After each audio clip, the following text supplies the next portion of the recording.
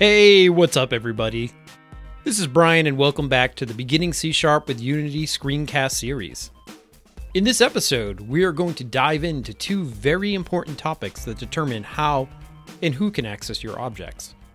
We do this through access control and namespaces. Access control simply determines who can access various aspects of your objects. When you created a struct in the last episode, you added a couple of instance variables. Both of those instance variables were prefaced with the keyword public. Can you guess what this keyword does? It indicates that anyone can read or write to the variables. Now, what will happen if you change the keyword to read private instead? The variables are no longer accessible. If you try to read or write to any of them, you'll receive a compile error. By limiting what code can access on your object, you protect it from any changes that may make the object unstable. Think about what would happen if everything was public. The number of lives could be set to negative 1000. A two player game could spawn 100 different other players. You'd be able to access the internal structure of any object and make changes. By doing this, you put your game in an unstable state, which at best could result in a crash. Worst, it could corrupt your user's data. C Sharp has many different access control modifiers. In Unity, we're concerned with just four of them public, private, protected, and internal. Public means anyone can access the property or method. It's as you'd expect, whereas private means only the object itself can access the property or method. You'll see this in action in the next episode.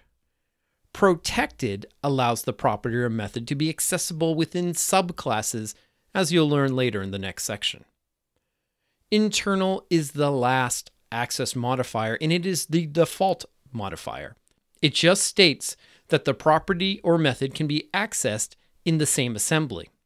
An assembly is just a precompiled bit of code that can either be a library or application. For instance, you can think of your Unity project as one assembly. By setting a variable to internal, outside applications or libraries will not be able to access it. Starting out, this won't affect you at all. For the most part, you'll be using public, private, and protected.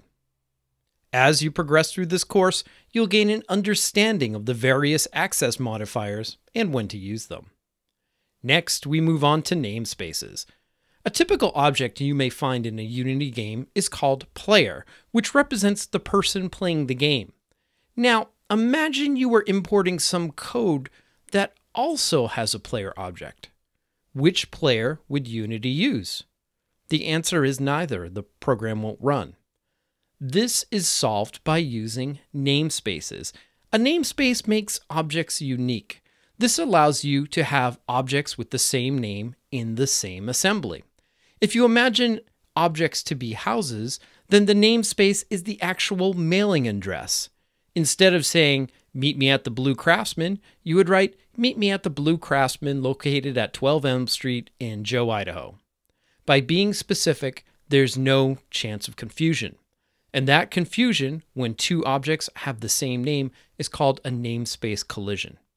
This namespace address is just a string of information, but like all things in C Sharp, there is a naming convention to it. Microsoft provides some documentation on how to name your namespaces. It boils down to this. You can see this in action in Unity itself. For instance, Unity uses the namespace for the user interface, unityengine.ui. Here's how it works. At the start of your code, you provide the namespace keyword. Next, you provide the name. Following Microsoft's guidelines, I'll put Ray Wenderlich dot beginning C sharp with Unity dot namespace lesson. After which I'll provide a pair of braces. Now all my code will exist in those braces. To access any objects I create in that code, I must provide the fully qualified namespace, like so. As you can see, this makes your code a little bit unwieldy. What you are actually seeing is known as the fully qualified address. Thankfully, you can avoid writing fully qualified namespaces by using the using keyword to import the namespace like so. Now I can access the high score object just as I normally would. I can just use the name of the object as opposed to using the complete fully qualified namespace. But if I do run into a collision, then I can defer back to using the fully qualified name. Believe it or not, you've been using namespaces throughout this course. Every file starts with using systems.collections and using Unity Engine. This is why you haven't been writing fully qualified names in your Unity script so far. For the most part, you won't be writing namespaces, but accessing them. If you ever intend to provide code to work in another project, then you'll definitely need to use them. Let's see this in action. Okay, in this demo, we're going to be covering namespaces and access control. And we'll start off with access control. And we'll do this by creating a new script called alien. So I'm going to create a new C Sharp script, name it alien, and we're going to dive into Visual Studio. So here we have this alien script right here. Now you'll notice if I create an alien struct, we're going to run immediately into an error. And this is due to namespaces. And we'll cover this in just a moment. But to avoid this error for now, we'll just call this my alien. Okay, so this alien's going to have some hit points. And I can declare this as public, and we'll just call it public int hit points, like so. By declaring it public, anyone can access these hit points now. So let's do this in start.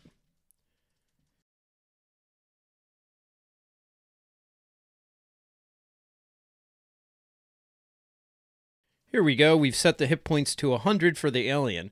And as I mentioned, it's due to this public modifier. But if we delete this or switch it to private, you'll see that immediately we're getting a compile error. And it says hit points is inaccessible due to its protection level, meaning this field is no longer accessible from outside of the struct itself. Now notice this, if I delete private, and leave it as so, we come back down here and you notice we're still having this compile error. By default, C Sharp assigns the internal access modifier to things. But in this case, we're inside of a struct. And when you're inside of a struct or in a class, then C Sharp will assign it a private access modifier instead. Now this struct itself is labeled as internal. So I could do this, internal like that, and that's the same thing as doing this. But in here, this is not internal, this is actually private. If I switch this to internal, like so, then now this script can access this field. We're going to switch this back to public. And now look what happens if I set this to private. By setting this to private, you can see here we get another compile error, and this time my alien is inaccessible, so I can't even create an instance of this struct. So as you can see, access modifiers don't work with just fields, they work with structs. Later, you'll see that they work with methods and so forth. And of course, there's also a protected access modifier. Now, protected is meant to be working with subclasses. In structs, you can't subclass a struct, so you can't use it. But within a class, you certainly can.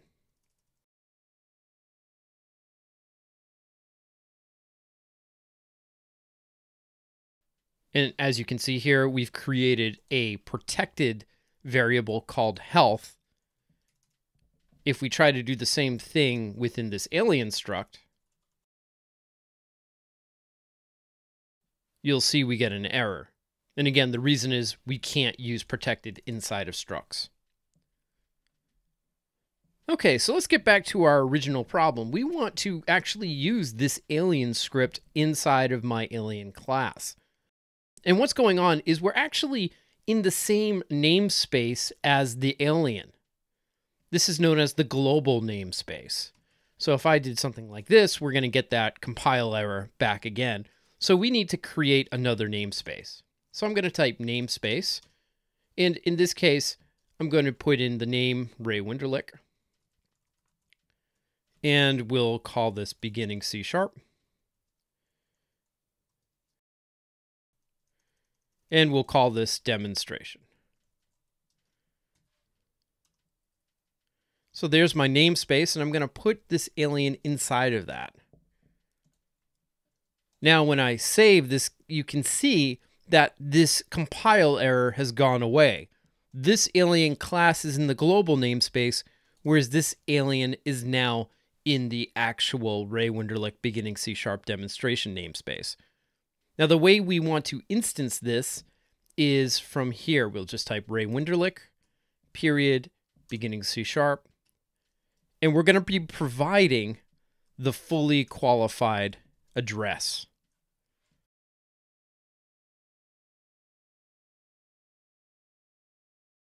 And there we go. Now we can access the alien no problem within the alien class. As I mentioned in the lecture, you're typically going to be accessing namespaces as opposed to being writing them. And you do that by using this using keyword. So let's imagine we want to access the text element in the Unity UI.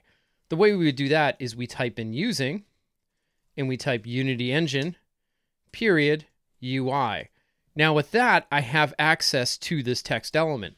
So if I want to create a public variable, I can now type in public text we'll say uh, player name. If we wanted to print the player name on the screen. But if I delete this namespace, now C Sharp has no idea what class I'm representing by this text. So this is completely unknown to it because we're not using the namespace. I can solve this problem by actually typing this by hand. Like so, and now I can have access to the text element again. Typically, you'll know you're running into a problem when you're not seeing your this class or struct in your code completion. So let's say I'm going to create this text again, and I start typing text, and you can see here, I don't see it anywhere, and that's because I'm not using its proper namespace. So I can come back up here, and now we'll type using it again. And now if I start typing text, and you can see it's available to me because I'm using this namespace now. Well, that's it for this screencast, but as always, we like to end off with a challenge. In your challenge, I want you to create a player struct that contains two fields. One is the first name and the other is the last name, and then put it in its own namespace. Then I want you to create a new instance of it and assign it your first and last name and print out those values to the console using onDisable. Finally, create a different player struct in another namespace and give it the field's initials and score. Again, I want you to create this in the same onDisable as the other player struct, and then I want you to assign it some values and then print it out to the console. I hope you enjoyed this screencast. Thanks again for watching, and I'll catch you next time. Okay, in your challenge, I asked you to create two different types of player objects and then instance them in the same script. So we're going to do that now. And we're going to create a new script to do this, and we'll just call this players, like so. Okay, the very first thing that I'm going to do is create a new struct, and we're going to call this player. And the struct's going to have two fields, and I'm just going to make them public.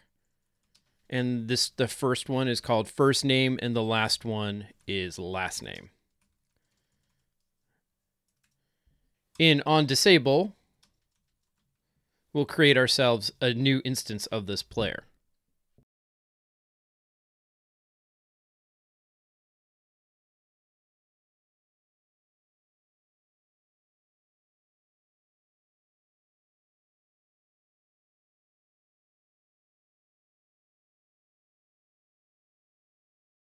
Okay, so here you see we've created a new player. We assigned the first name to Ray and the last name to Wenderlich, like so. And this is stuff we've all been doing before. Now let's create an entirely new player. In Unity now, I'm going to create another C-sharp script, and we're going to call this player. So we're going to delete this, and we're going to create another namespace. So we'll call this namespace. And again, we're going to call this Ray Wenderlich.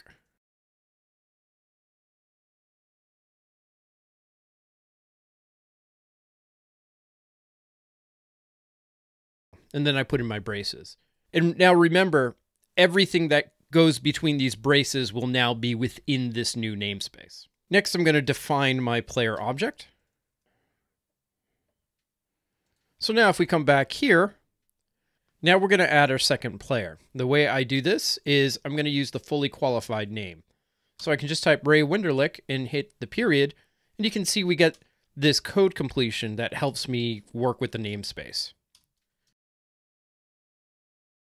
So we've defined the type. Now we're going to create a new instance of it. And again, we have to use the same namespace. Now we can just simply reference the variable to set the values.